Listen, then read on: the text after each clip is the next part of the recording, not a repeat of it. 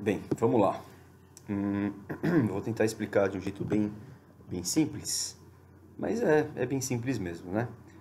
É, a gente tem aqui uma pasta no Drive que eu não vou compartilhar com vocês porque tem muita coisa de programação, tá? Então, a princípio, vamos trabalhar vocês falando o que vocês querem acrescentar ou dar de ponto que eu e o Wellington a gente manda bala aqui, tá? É... Lá na nas salas de iniciação científica, eu criei uma atividade chamada Desafio das Guildas, que vocês podem acompanhar, todo mundo, né? E ver o que está que tá acontecendo. Eu vou abrir aqui uma que eu entendo que seja simples, que é do oitavo ano. Oitavo ano A, vai. Então, ó, Desafio das Guildas. Cada aluno tem o seu arquivo, eles não podem nunca entregar essa atividade, tá?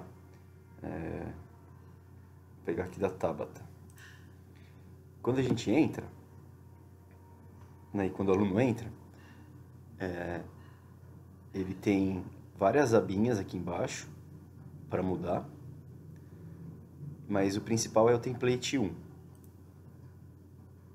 E estamos aqui. É a foto de perfil da Tabata, ela que colocou. Aqui temos o nível que ela tá e quantos XPs ela ganhou até agora. Como ela tem 371 XP, ela está no nível 3. Se ela tivesse 471, ela estaria no nível 4 e assim por diante. É, esse é o avatar que ela criou, que é o personagem dela. E aqui são os itens que ela tem. Que mais pra frente eu vou, vou usar inclusive essa parte para ensiná-los a, a, a, colocar os itens nos personagens. Né? Então ela tem, por exemplo, é, ela tem o colar do troco real, que ela consegue trocar moedas por notas e vice-versa. Quando ela quer utilizar esse item, ela pode pedir para os professores, se os professores quiserem e tiverem, é, trocar o dinheiro dela. Ela tem também esse amuleto verde, que é um amuleto de falar com animais, au, au, au, não tem nada a ver. É porque mais para frente, eu e o Wellington, a gente pensa em fazer alguns, algumas brincadeiras, alguns desafios que envolvam esses itens. É, e ela tem também a pedra, é, o amuleto da sorte. Você terá sorte, nossa, olha uma moeda no chão. Então são itens de brincadeira, né? Então, por exemplo, ó, cinturão de Orion, impede que suas calças caiam. Ampulheta da serenidade, faz um professor bravo contra até 10 para se acalmar. É, são itens bobos, tá? É, esses itens vão surgindo à medida que ela vai passando de nível. Então, como ela está no nível 3, ela pode trocar à vontade o que aparecer para ela, o que não tiver ó, bloqueado, tá? É, tem itens, por exemplo, chave do armário de tintas, de aquarela, enfim. Mas isso lá para o nível é, 40, enfim. O aluno tem que ser muito, muito bom, né? ele tem que ter feito muita coisa interessante para poder chegar num nível tão alto. É, temos aqui a guilda, não está carregando, não sei porquê, devia ter aqui o símbolo da guilda dela, que é aqui ó, quem fez foi a Bruna, junto com a, com a Lence, né? a sala votou, e o nome da guilda, da guilda né, do oitavo é Purandim, e aqui não está carregando por uma questão de internet, aí não sei por que, que não está carregando. É, aqui temos a classe dela, ela escolheu ser mago, já vou falar das classes, tá? E aqui embaixo temos esses quatro espaços para colocar maestria. Então era uma interpretadora, ela que escolheu isso. Foi interessante que com sextos e sétimos anos, eles têm muita dificuldade de falar no que, no que eles são bons, né? A instrução que a gente deu é que eles colocassem algo que fizesse outros alunos buscarem eles para ajudar. Então foi uma questão de autoconhecimento, assim, né? Eles colocaram coisas é, bem, bem legais. Deixa eu ver aqui do Ricardo.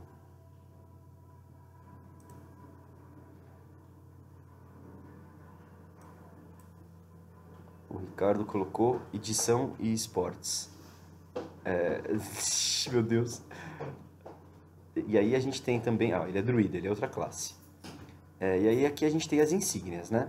Então, no caso do Ricardo, que estava no, no nível lá de aluno, né, ele ganhou analisar o documentário, estou me guardando para o carnaval chegar. Quando ele completa esse documentário, ele me avisa. E ele ganha isso aqui de ponto. 350 pontos são três níveis e meio, né?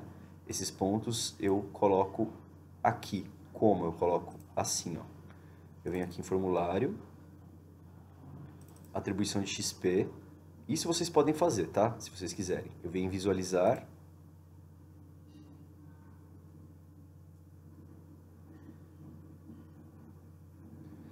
escolho a turma,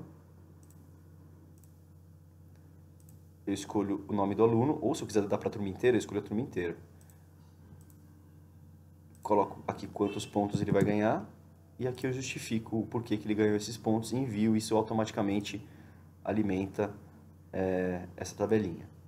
Bem, o Ricardo também tem essa insígnia do SUS, a insígnia das músicas que eu dei para eles e uma insígnia extra, que é a quarta insígnia que eu montei, é, são várias, né? CEO da semana 2, criou uma agenda semanal física organizando lições de casa e entrega de tarefas, que ele já fez, inclusive, eu tenho que dar a pontuação para ele.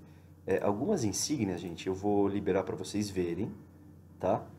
As insígnias, vocês podem ter ideias de missões novas e tem missões que, que são de cidadania, que não tem muito a ver com o conteúdo, mas tem a ver com a organização deles e a organização de pesquisa. Então, por exemplo,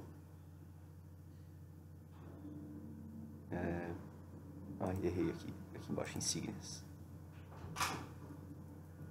Hum...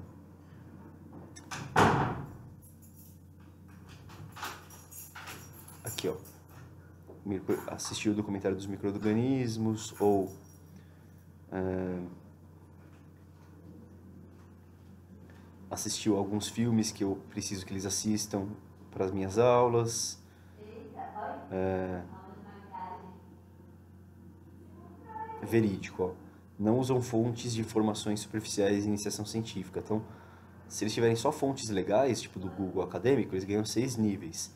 Máquina de escrever. Todos os seus trabalhos em documentos Google estão alinhados com fonte clássica, justificados e com espaçamento em e-mail. Ganha cinco níveis. Isso, só no final do trimestre eu vou pedir para eles me mostrarem e aí eu dou para eles. É, CEO da semana, essa coisa de criar uma tarefa, uma agenda de tarefas, né, se organizando. Aqui eu coloquei proativo, limpou completamente três cômodos da própria casa. Isso é, é mais para brincadeira, tá? É, vamos voltar lá no Ricardo. Aqui o patrono 1 e 2, eles ainda não escolheram, mas a ideia é eles clicarem aqui, apertarem igual e decidirem uma ferramenta de pesquisa. Então, se eles quiserem, por exemplo, é, as normas da BNT da Ivana, eles clicam na cara dela, apertam Enter. E embaixo a mesma coisa, igual.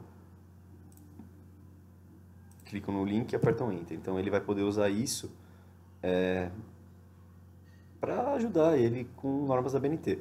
Como cada aluno vai ter um só, eles vão ter que se procurar, eles vão ter que é, debater quem vai ter o quê e depois, né, dependendo da, da própria pesquisa, eles vão ter que pedir ajuda para os alunos que têm certas ferramentas de pesquisa. Como são ferramentas bem complicadinhas, é, a gente está fazendo um tutorial com os alunos para ensinar como é que usa cada uma delas. Bem, temos aqui controle de pontos, né, tudo que ele ganhou já e o motivo, e é basicamente isso. O que vocês vão precisar, deixa eu ver o tempo aqui, 8 minutos, vixe. O que vocês vão precisar ver com calma é isso daqui, inclusive a Miriam. Eu e o Wellington, a gente está montando classes e especializações. Cada aluno, no começo, é, eles escolhem se eles querem ser mago, se eles querem ser é, guerreiro, se eles querem ser. Cadê? O verdinho. Isso muda a cor da ficha deles, né? Druida, ou se eles querem ser ladino.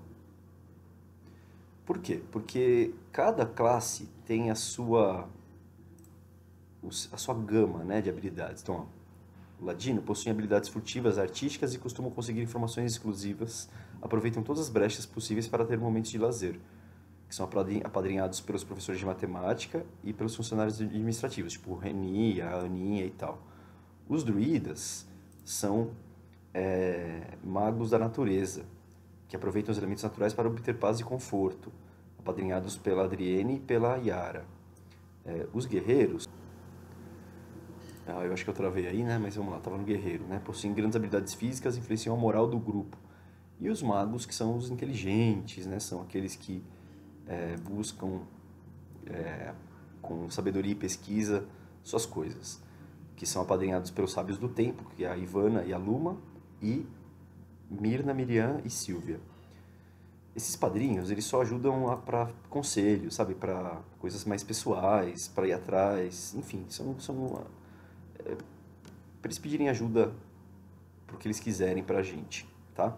Quando eles chegarem no nível 15, eles vão poder escolher se eles vão ser alquimistas, tecnomagos, elementalistas ou oráculos. Isso se a pessoa escolher o mago.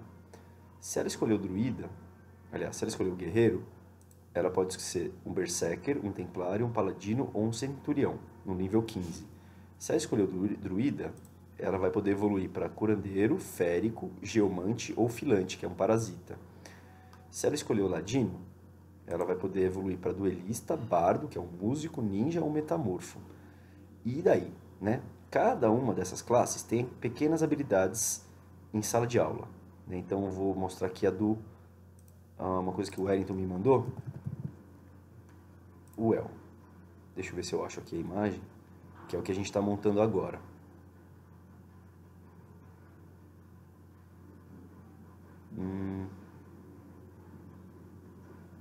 Achei.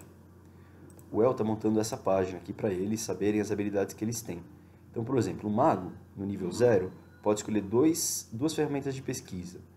No nível 3, ele tem acesso livre preferencial aos puffs e sofás da escola, pode ser usado em todas as aulas. No nível 8, no nível 6, ele ganha dobro de XP durante o desafio de matemática. E mais se a sua equipe vencer ou for muito bem. É, no nível 8, pode fazer uma selfie, GIF ou boomerang com o professor. Só pode ser usado uma vez a cada 15 dias em momentos adequados. Biblioteca Arcana, nível 10, pode pedir aos professores sugestões de referências bibliográficas para qualquer... Perdão. Trabalho escolar, sem limites de uso. Bem, a gente está montando ainda, né? a gente tem toda a parte gráfica já montada, né? mas, por exemplo, é, se o aluno decide ser alquimista, né, constelação de alquimista, ele tem outras habilidades no nível 15, 25, 40, 60 e 85. São coisas, por exemplo, ó, pode transformar a nota de uma atividade com base na média do trimestre anterior, uma vez por ano. Isso daqui é muito apelão, né? Talvez a Miriam nem deixe a gente fazer. Só que assim, o aluno que está no nível 85, para ele chegar no nível 85, ele vai ter que ter feito muita coisa. Ele tem que ser um baita aluno. A gente nem imagina que um aluno consiga chegar no nível 85. E mesmo que ele chegue, isso aqui, né, a gente já combinou que é super negociável. Eles não sabem dessas habilidades ainda, tá? Dessas maiores. É... Então a gente pode mudar, tá? Eu vou mandar isso para vocês olharem, certo? E inclusive com as insígnias. As insígnias tem que tomar cuidado porque a maioria delas, a grande maioria delas, eu fiz para o nono ano, porque eu jogo com eles. Tá? Esses espaços em brancos, vocês podem é, dar ideias tá, do que pode virar. Então, por exemplo, ó, Rockstar 1 ouviu 10 músicas diferentes de Seu Chico, OK Go, Cazuza, Justice e FKJ, que é, um, é uma gama de músicas aí bem, bem alternativa, que eu dei para alguns alunos que eu acho que seria interessante eles ouvirem outros tipos de música. Então tem muita coisa aqui que eu fiz pensando no nono ano, que vocês podem depois ajudar. Não está carregando algumas imagens, não sei porquê, acho que o Google está travando, tá? Bem, basicamente é isso. É... Vocês precisam ler essas coisas para permitir ou não que os alunos usem essas habilidades durante a aula. Quase nenhuma habilidade é, é sacana, assim, né? É, é muito exagerada. Porém, é legal que vocês leiam, principalmente a Miriam, para poder falar se vale ou não, se precisa trocar ou não, tá bom? Então, por exemplo, ó, Guerra Santa, uma habilidade de nível 60 de quem for templário, né? É muito complicado, a gente vai ter mais ou menos um templário ou dois por classe, talvez. Pode competir com um mago ou druida para realizar um trabalho pleno. Quem conseguir melhor avaliação do professor ganha o dobro de XP, quem perder não ganha nada. É, e aí, quando eu dou uma atividade, é, eu tô pontuando também que essa atividade vale tanto de XP, né, que ele pode usar alguma coisa. É, eu e o Wellington, a gente criou algumas tarefas, alguns desafios que envolvem as habilidades das classes escolhidas. Né? E aí tem uma ideia também que a Ivana deu há muito tempo, que é, ah, aqui é onde eu dou insígnia. Eu escolho o aluno, clico aqui e seleciono as insígnias que eu fiz, tá?